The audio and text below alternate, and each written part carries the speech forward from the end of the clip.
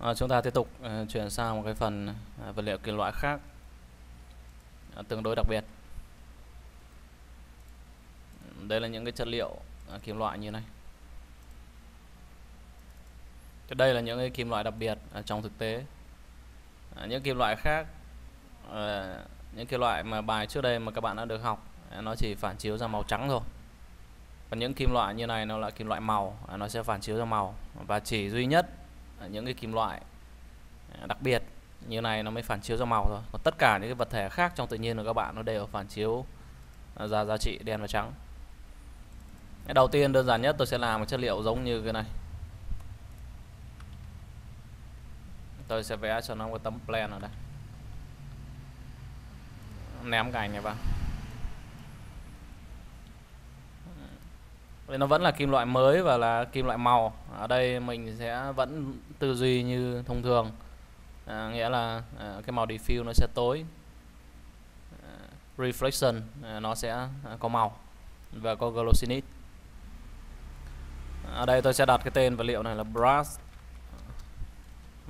Mà tên là diffuse. À, tôi sẽ hút lên cái màu này. À, nó tối nên tôi sẽ kéo giá trị value này về góc tối này ok. À, reflection. À, color tôi sẽ hút được cái màu này. Glossiness trên cái bề mặt đối tượng này nó không có bóng loáng à, phản chiếu như là kim loại thép hay là inox mới mà nó sẽ hơi mờ đi một chút. Ở đây tôi sẽ để giá trị là 0.9 à, friend and error tôi vẫn để nó khoảng tầm 30 gì đó. Bấm phím C. Chọn chọn gán cho nó à, bây giờ tôi sẽ render cái này.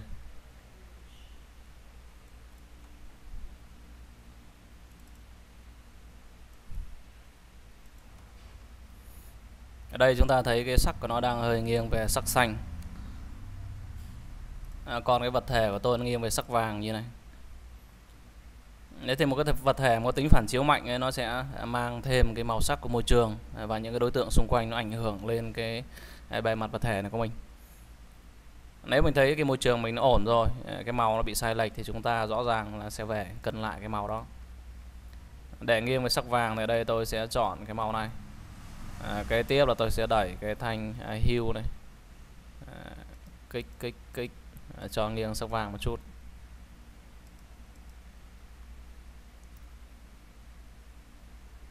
À, đẩy thằng này lên trên này cao một chút.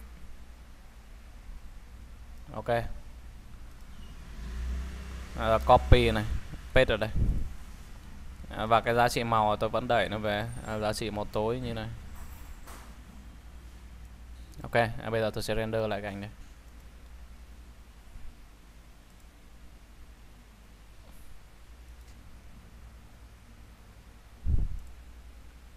Ok à, thế đây là cái kết quả chúng ta đạt được. À, nó vẫn thiếu một chút sắc vàng. Ở đây tôi sẽ lại phải đẩy thêm sắc vàng một chút nữa. À, về cái à, vật thể này tôi nó à, hơi nghiêng sắc vàng. Cái này tôi sẽ lại à, đẩy cái thằng này lên trên này một chút. Cho cái màu nó tươi hơn. Nếu các bạn kéo cái vị trí xuống dưới màu nó sẽ xỉn hơn. Nhiều khi chúng ta hút có thể là được luôn. À, và nhiều khả năng là gì? À, chúng ta sẽ mất công chúng ta chỉnh lại thêm chút nữa ok copy paste.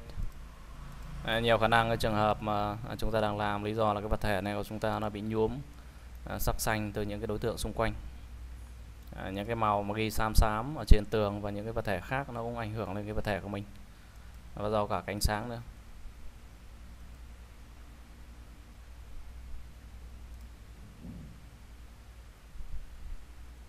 Ở đây chúng ta sẽ quan sát những cái vị trí ánh sáng à, mạnh trên cái bề mặt đối tượng này.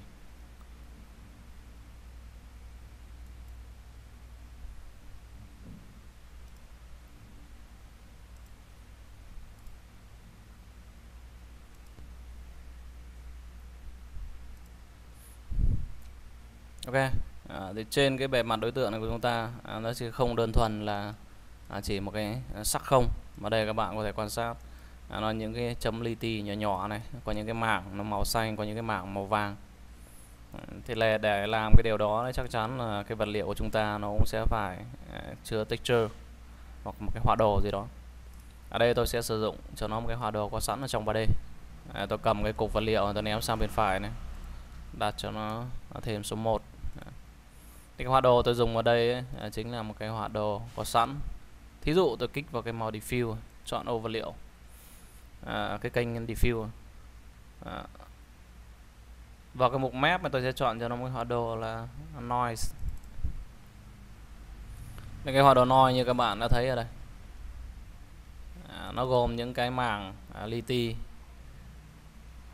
À, những cái mảng đen và mảng trắng nó đan xen vào nhau nếu mình muốn cái kích thước những cái ờ, mảng này nó nhỏ đi thì ở đây nó có mục size chỉnh kích thước. Giả sử tôi để nó 50 chẳng hạn.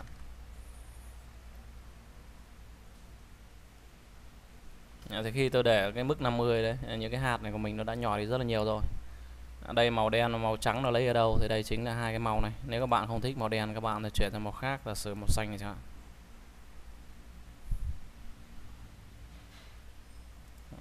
Các bạn không thích màu trắng thì các bạn có thể lấy cho nó à, một cái màu khác.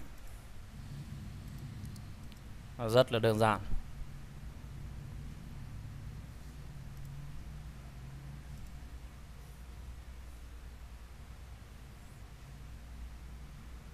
Trong những clip kế tiếp thì chúng ta sẽ quay lại cái phần này đi sâu hơn về cái phần hoa đồ này. Qua qua bên này à, tôi sẽ copy cái màu này kích vào cái ô map à, chọn nồi à, kế tiếp tôi sẽ paste nó vào đây. À, paste lần thứ hai vào đây. À, nhưng với cái lần thứ hai này tôi có thể đẩy cái giá trị màu này cho nó sang à, một cái sắc xanh hơn hoặc là cái sắc vàng hơn như này chẳng hạn. Để cho nó khác biệt đi.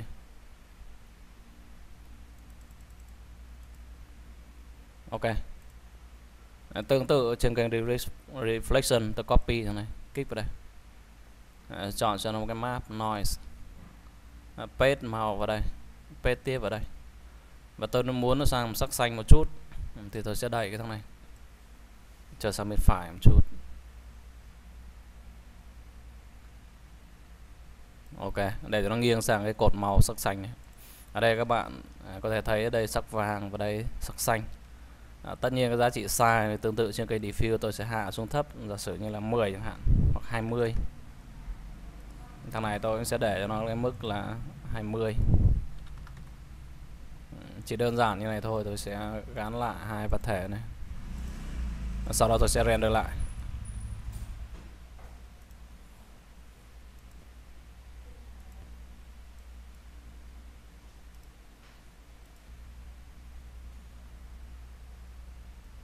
Ok à, trên cái bề mặt này của tôi bây giờ đã có sự khác biệt à, các bạn muốn nó thay đổi nhiều hơn nữa thì các bạn sẽ phải để ý cái à, màu.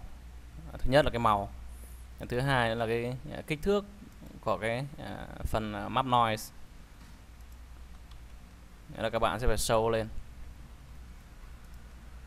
Nếu mà 20 chưa rõ thì các bạn à, sẽ để lên tầm 50 hạn. À, bởi vì hai cái màu này của mình nó khá là giống nhau. À, nên là các bạn à, sẽ phải để mắt nó một chút.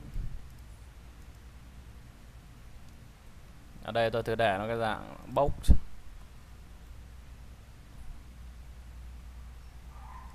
để lên 100 chẳng hạn. Hạt vẫn quá lớn. À, để nó một chẳng hạn. Ok ở đây mình sẽ quan sát nó dễ hơn. Tương tự với cái cái này. Các bạn có thể nhìn những cái điểm chấm chấm trên cái bề mặt này à, bây giờ tôi sẽ render lại. À, lần trước là chúng ta đã có những cái mảng à, nhiều nó hơi lớn. Lần này những cái chi tiết của mình nó nhỏ hơn nó cho mình kết quả nó rõ nét hơn.